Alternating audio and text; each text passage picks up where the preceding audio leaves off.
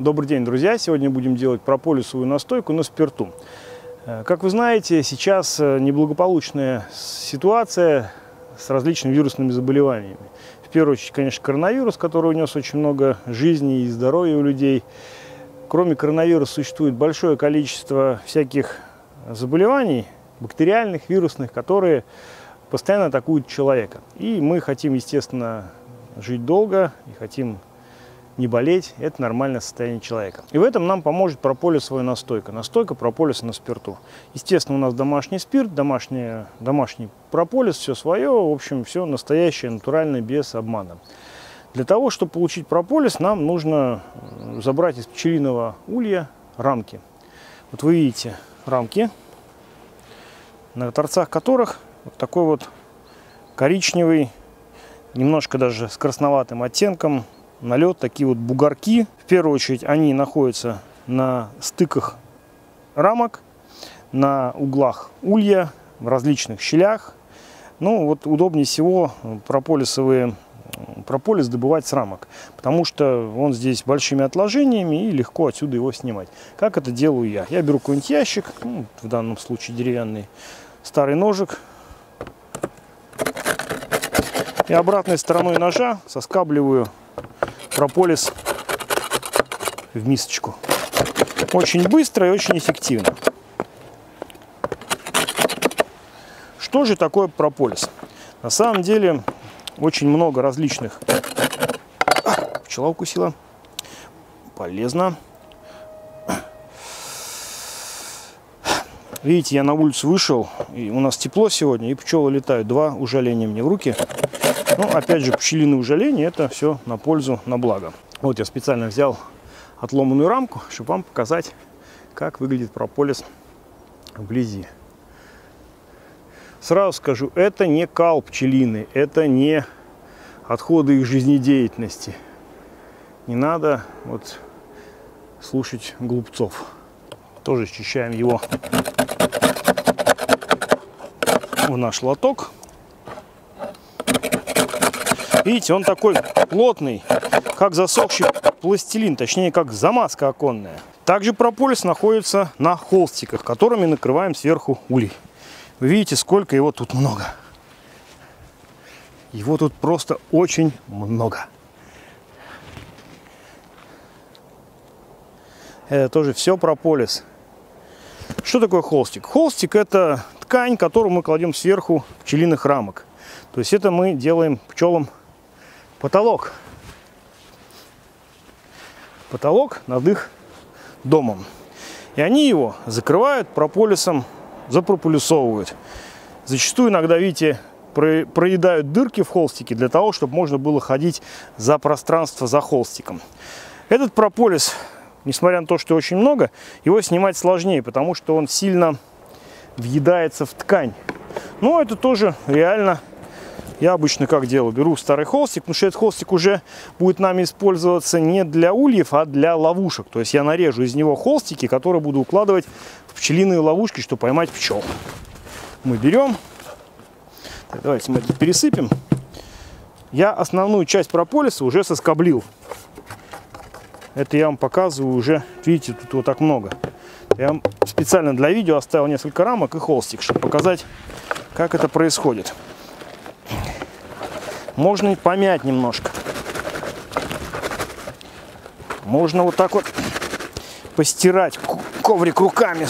Ну, на сухую, естественно. Рыжик, хочешь прополисовую настойку?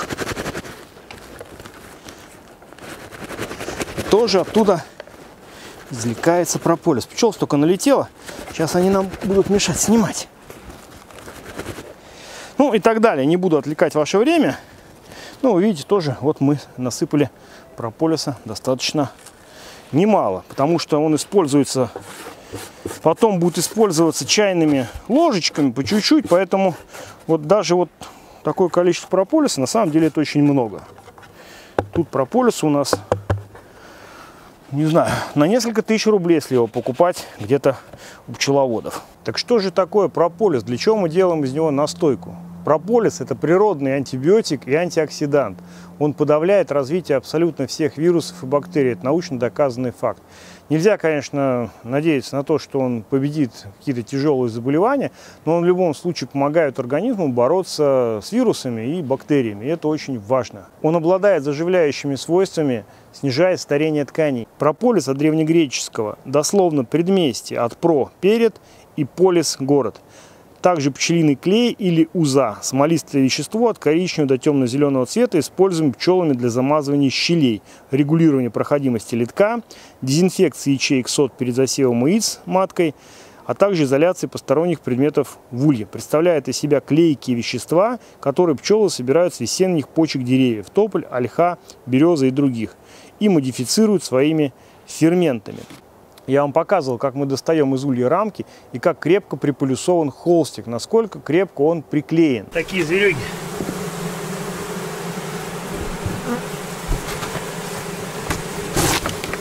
Сколько у вас осталось рамок? Три, шесть, восемь. Хватит нам на зимовку. Пчелы применяют прополис как э, своеобразный строительный материал. То есть они заклеивают э, им все щели. Например, тот же литок. Когда наступает осень, литок нужно сделать поменьше, чтобы холод не, не попадал в улей. Видите, у нас дно от улика. Вот литок такой вот широкий.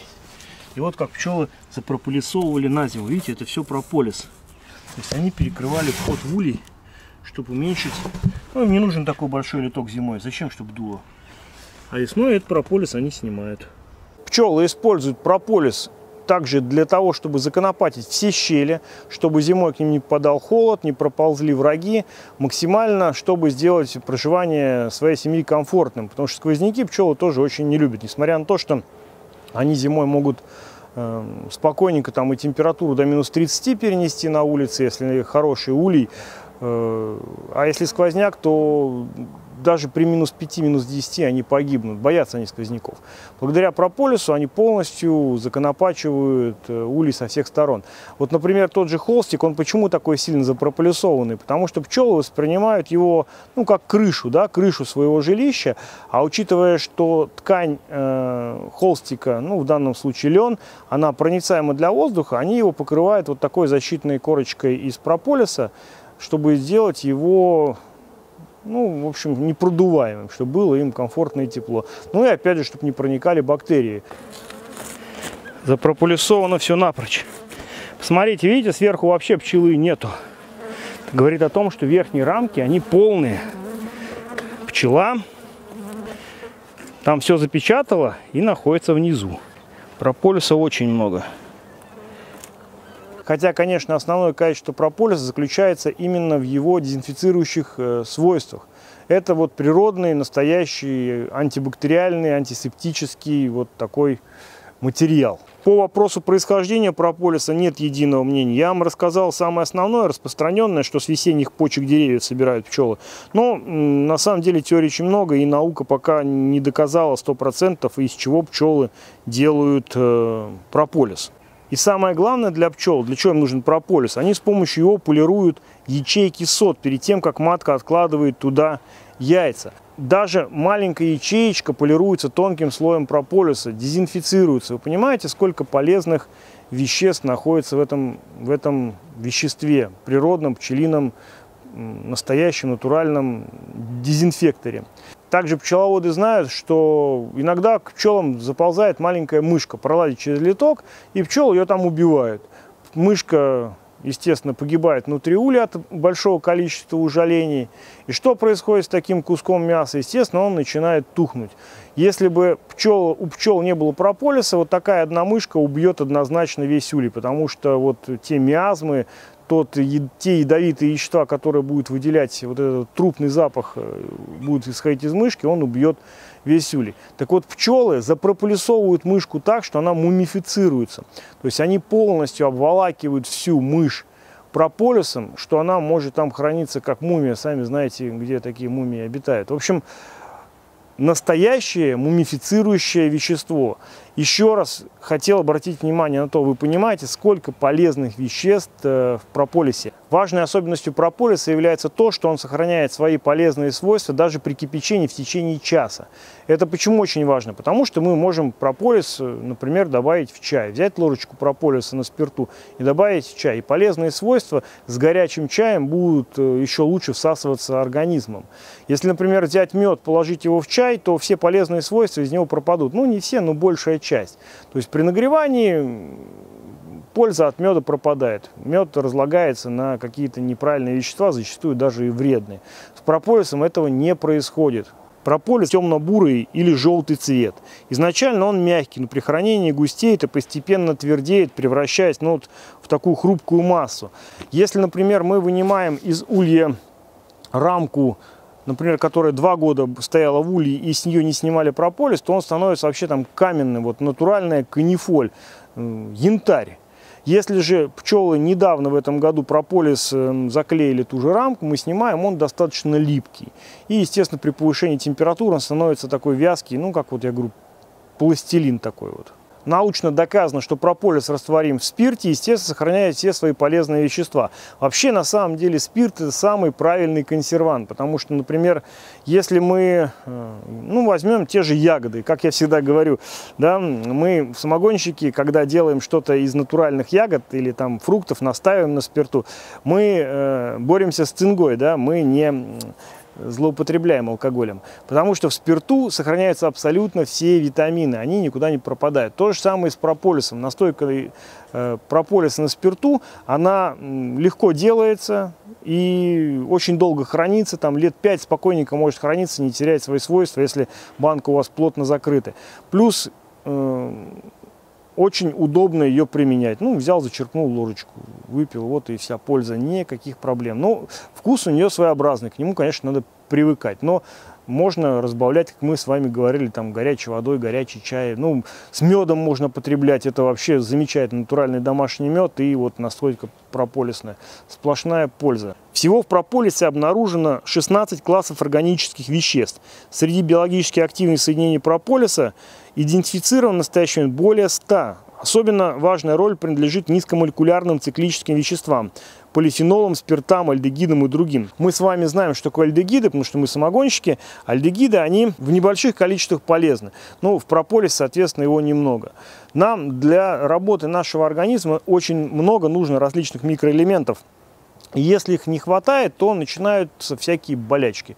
Мы все это прекрасно знаем. Поэтому, например, в моей семье вот, э, уделяется такое большое внимание э, производству собственных напитков, еды, мяса, меда, овощей, фруктов. Но мы стараемся максимально сделать своими руками. Не потому, что у нас нет денег это купить, это не так.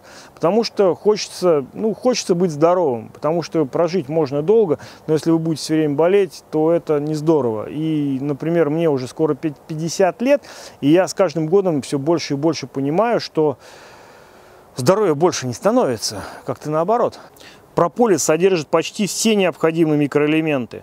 Магний, кальций, натрий, железо, цинк, марганец, медь, кобальт, фосфор, серу, сурьму, алюминий, хром, селен, кремний, стронций, титан, ванадий, олово, фтор. Из минералов, необходимых человеку, значительно больше количество в прополисе прежде всего присутствует кальций. Различные витамины также обнаружены в прополисе, среди них э, витамины группы В1, витамины А, С, Е, Н. В состав прополиса входят аминокислоты, аланин, аминомасляная кислота, аргинин, аспарагин, аспарагиновая кислота, валин, гидроси, гидроксипролин, э, гистидин, глицин, глутаминовая кислота, изолейцин, литин, лити, литин, мициетин, орнитин, пироглутамилиновая кислота, пролин, сарказин. Я на самом деле не наизусть говорю, я читаю с телефона, чтобы вы понимали ну, добавляя своими собственными впечатлениями и своим собственным опытом. Серин, тирозин, трианин, триптоф, триптофан, фенила, фенилалалин, цистин, цистеин. Многие из них являются незаменимыми, не, незаменимыми для человека. Большое терапевтическое э, значение имеют флавоноиды. Флавоноиды спектр представлен пятью соединениями.